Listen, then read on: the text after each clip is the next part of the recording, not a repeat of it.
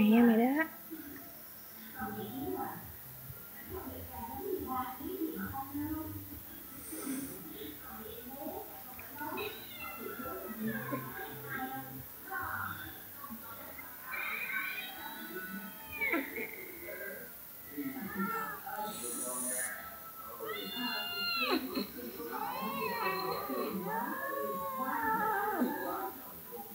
Mẹ của mày đó. Yeah.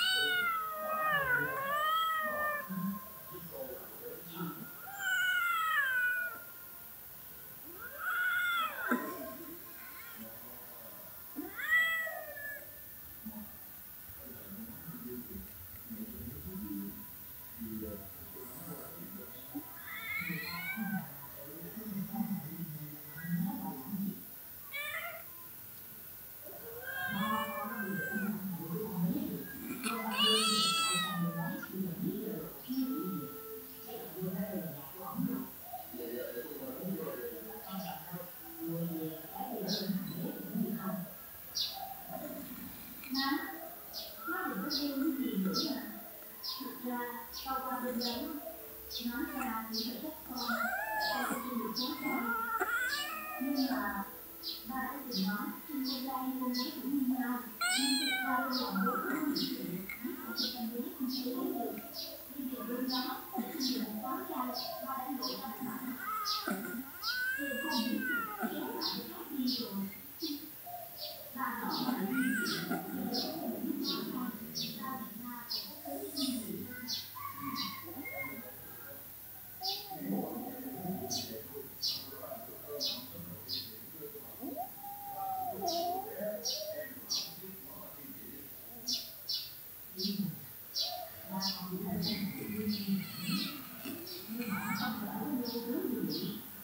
Deixa eu.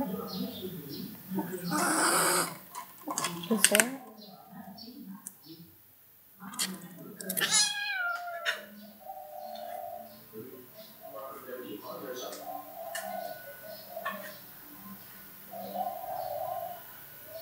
Thank